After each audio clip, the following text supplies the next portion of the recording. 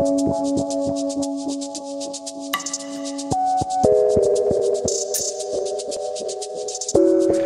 everyone, Jonathan Watson here from the Professionals Padstow and I'm very excited to welcome you to number 2 Bruce Avenue in Panania.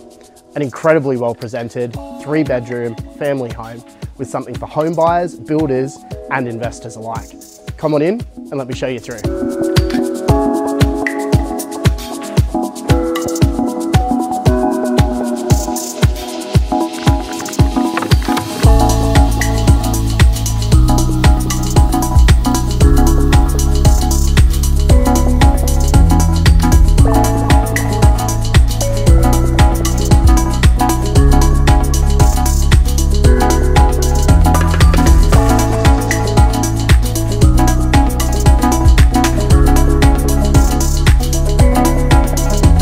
For more details, please get in touch. We look forward to seeing you at our open home.